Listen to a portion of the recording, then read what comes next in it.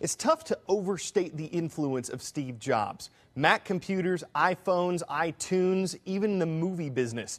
In 1986, Jobs bought an animation studio you've probably heard of. It's Pixar. He helped turn that company into the household name it is today. But this week, Jobs announced he's resigning as the head of Apple, the company he helped found in his garage. He's had some serious medical problems in recent years, although his resignation announcement didn't mention that specifically. Poppy Harlow explores reaction to the news. The impact was immediate. Apple stock fell 5% in after hours trading Wednesday when Steve Jobs announced he's stepping down as CEO.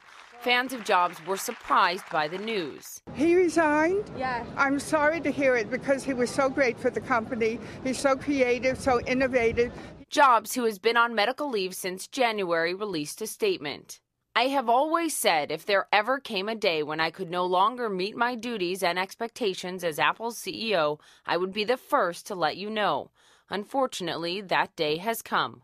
It's really hard to overstate um, just how important Steve Jobs has been to business, um, to the economy, what he's done, because he's really revolutionized so many businesses.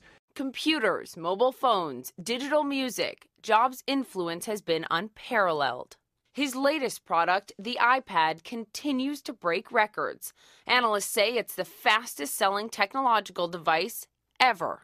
Jobs co founded Apple in 1976 from his family's garage. Nine years later, a power struggle led to his exit. But Jobs returned again in 1996, soon after becoming CEO and transforming the company into what it is today one of the biggest corporations in the world, worth nearly $350 billion.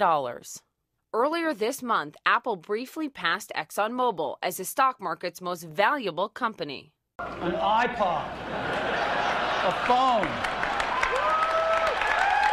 Are you getting it? But it's not only because of Jobs' innovation. He's also a brilliant marketer. The secrecy and the kind of theater that Apple brings to every product launch, every other company in the world, whether they're in, you know, electronics, consumer electronics, or, or clothing or automobiles, they, they, they can learn from Apple and what they do. In the only commencement address Jobs ever gave in 2005 at Stanford University, he touched upon the secret of his success. And the only way to do great work is to love what you do.